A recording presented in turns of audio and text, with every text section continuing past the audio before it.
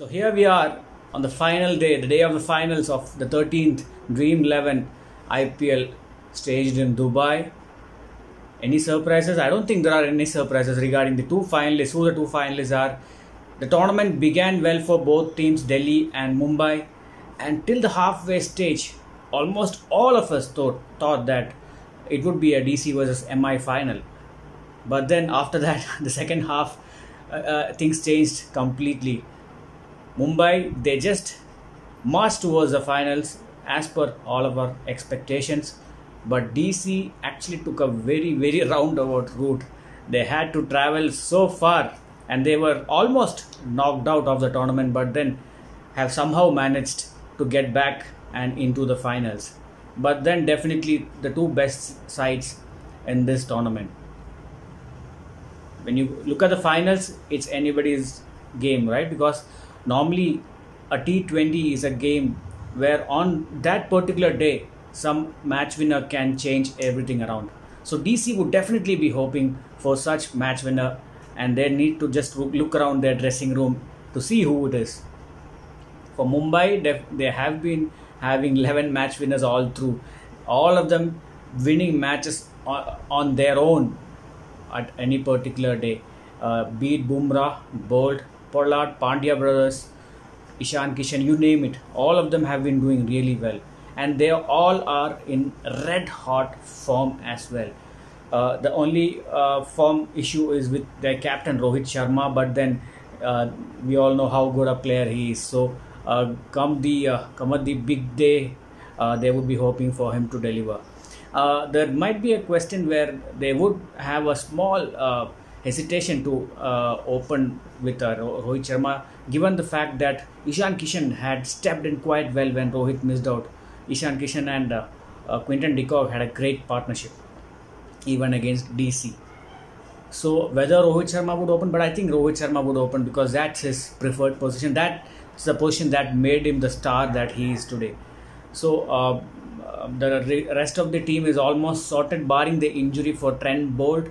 He has been one big change, one big name that has come into the side, which has actually changed the complexion of their uh, bowling lineup. Early it was a Bumrah one-man army where Bumrah would bowl a couple of overs in the top, two in the uh, end, and he would just control it.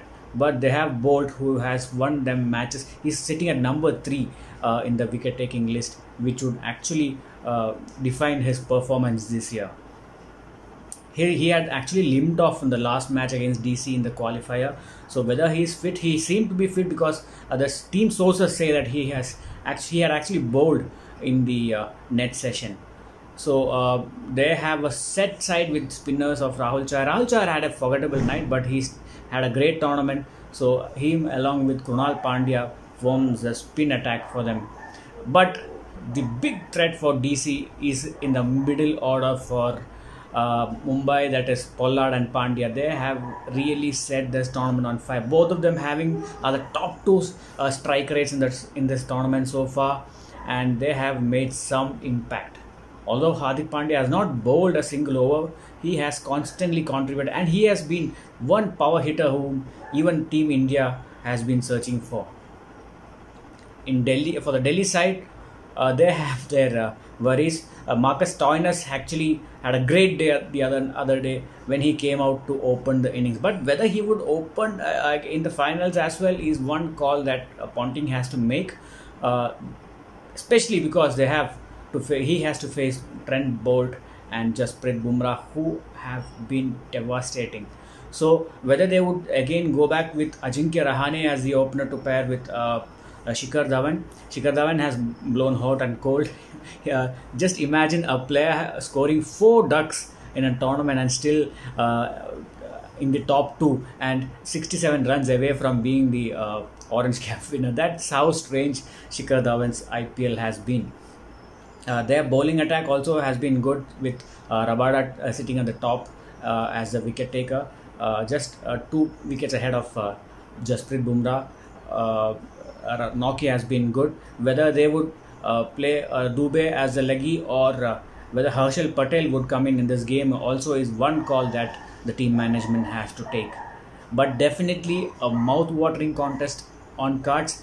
Mumbai four times champion, looking for their fifth title, and Delhi making their maiden entry into the finals.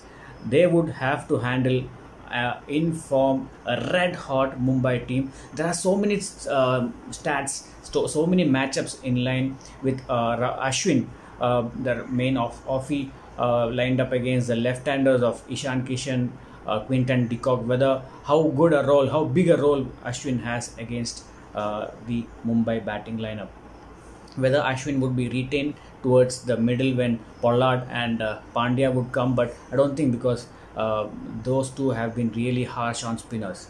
So uh, they, they do have Akshar Patel who has been very economical with a strike uh, with an economy with around around six. So he too has been a good good player for DC. So overall their bowling looks fine, but it has been their batting that has actually caved into this super super hot Mumbai bowling attack. Uh, last game we all know how uh, Boult and Bumrah actually blasted away this uh, batting lineup, blew away the lineup.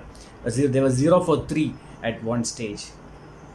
So definitely there should be a mindset change for the DC batters as far as they are concerned because they need to be positive, stay positive, uh, so that they, to survive the new ball shouldn't be the case because they need to go, get a good total if they're batting first or need to uh, get off to a flying start uh, if they're chasing a good respectable score which definitely would which Mumbai would be planning to. Even the uh, second game when DC met MI uh, uh DC had a great bowling comeback but then Hardik Pandya just tore apart this uh, bowling of uh, DC and they scored 200 which was actually uh, looking very very far at one stage. So it's going to be a terrific match. Great game tonight at Dubai Mumbai versus Delhi. Mumbai going for their fifth title, whereas Delhi their maiden one.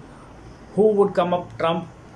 Mahela Jayawardene or Ricky Ponting? Who would uh, bringing the right choices, the right picks, the right eleven, the right uh, bowler at right stage, the right batting batsman, the right combination is uh, definitely uh, uh, going to be.